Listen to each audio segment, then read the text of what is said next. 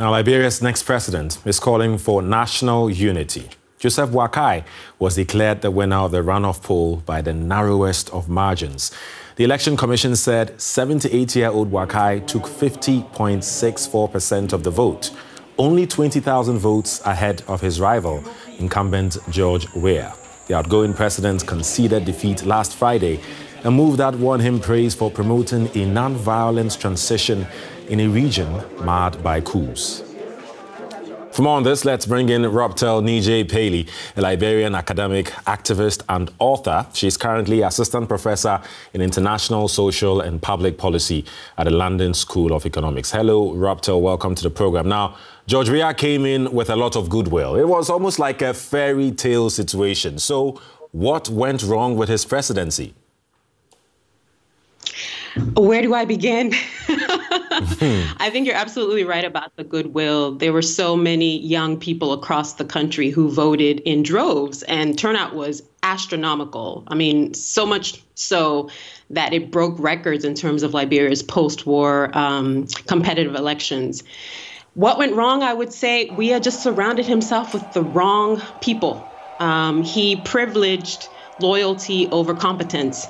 And it's interesting because one of the first things that I did when he was uh, inaugurated in January 2018 was I listed a series of different things that I thought he should focus on. And one of those things was surround yourself with people who have the intellectual capacity to deliver in terms of development, but also the integrity. And what Weah did not neither of those. He mm. surrounded himself with people who were loyalists, not necessarily technocrats, not necessarily people who had the capacity to deliver any sort of development dividends in the country. And he surrounded himself with a lot of um, sycophants who were corrupt to the core. Mm. So you'll probably know from a lot of reportage internationally that three of his um, inner circle folks were indicted um, and uh, listed on a number of corruption scandal reports by the US government. So those people I was expecting, and a lot of people who voted for Weah were expecting, um, in terms of that integrity and that capacity and intelligence, mm. just it failed. Uh, I yeah. think that was the first thing. I mean, if even if you don't have the capacity to run a country, um, which I don't think that Weah had, then you surround yourself with people who can, and you just take the credit for what they do. Mm. Uh, we have failed on those fronts, unfortunately. Okay, strong words there from you. Is that to say George Weah's tenure as president ruined his legacy as a national hero? There are still probably 49% of the population, at least the electorate, the um, the people who registered to vote, who believe that George Weah should have been given a second mandate. And given how close the election results were between him and um, President-elect, former Vice President Joseph Boakai, the fact of the matter is the country is still very much divided.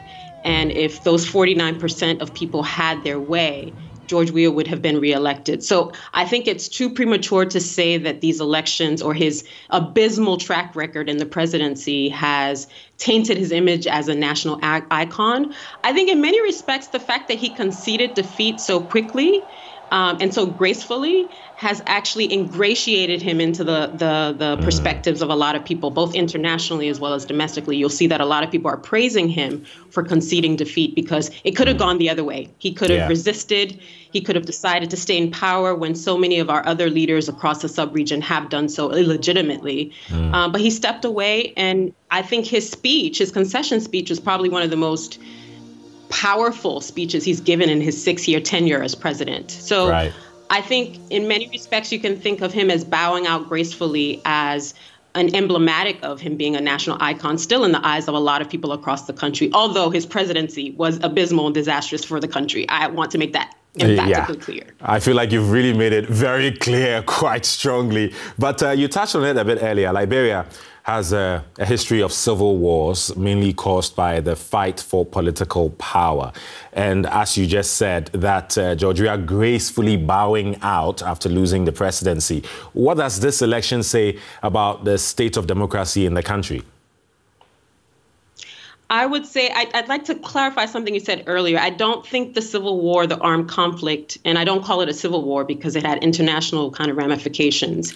Um, the armed conflict in Liberia between 1989 and 2003 the, the, the vast majority of scholars will argue that that armed conflict was about inequality, social inequality, socioeconomic inequalities in the country, not necessarily about the fight for political power. Mm-hmm. That may have been the face of it. But the fact of the matter is, Liberia is an, a grossly unequal country, and it's still grossly unequal 20 years later. Um, in terms of democratic consolidation, I would say this is the fourth post war elections, and elections in the past um, 15, 16 years have been incredibly competitive. And I've said this a number of times that it's even more competitive than countries in the so called global north. So you have 78%. Um, the 78% of the electorate actually going out to vote. That rivals a lot of um, elections in the so-called global north in the UK, where I reside. That number is um, mm. is, is mushroomed.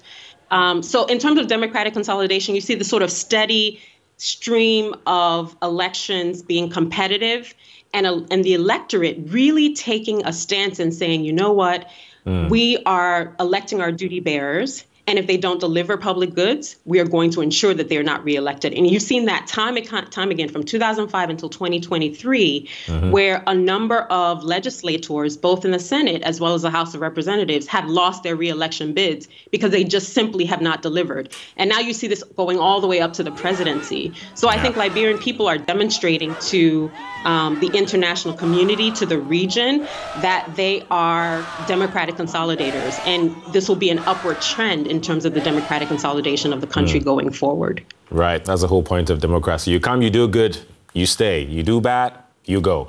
Well, let's wrap it up with this. Based on what we know from President elect Joseph Boakai's time in government, does he have the track record to deliver what Liberia needs? I think Joseph Boakai has been a silent steady kind of governance guru in many respects, right? So he he ruled as uh, a vice president under the shadow of Ellen Johnson Sirleaf, and many people sort of rebuked him in 2017 when he said that as vice president for 12 years he was a parked race car. So he actually wasn't able to exhibit his agency and his authority in a way that was very meaningful for development. So I think there's a lot of expectation that we will see him come out of that. Um, parked race car kind of uh, demeanor mm. and really govern, um, but then govern with a coalition of people who do have the capacity, do have the intelligence, do have the integrity to serve the public good. So okay. there's a lot of goodwill in the same way that there was a lot of goodwill for George Weah in 2017. There's a lot of goodwill for uh, Joseph Boakai in 2023. And I think given the fact that he is, again, this sort of steady hand of experience, um, I think he does have the, the wherewithal and the power uh, okay. to govern Liberia out of the abyss that it's been in in the past uh, six years. Mm. In terms of what is urgent for him to do, what would be some of his main tasks as uh, incoming president, as new president? Number one, to audit the George Weah administration, and he's already said that he will do that categorically. There's been just massive levels of theft massive levels of corruption taking place. And a lot of that, those monies or those funds need to be reconstituted to things like agriculture, food security, ensuring that people are employed, um, basic social services such as education and health, roads, roads infrastructure is absolutely key in terms of the economy. So I think number one, auditing the former government and then number two, I would say food security, because Liberia has a serious problem with its balance of payment, right? Imports are incredibly high, mm. exports are quite low. And if Liberia can be a food secure nation, then a lot of those funds that would be used for importing food, we could use for all the other development priorities. Right. Robtel Neajai Pailey, Liberian academic, activist, and author. Thank you very much for your insights. Thank you for having me.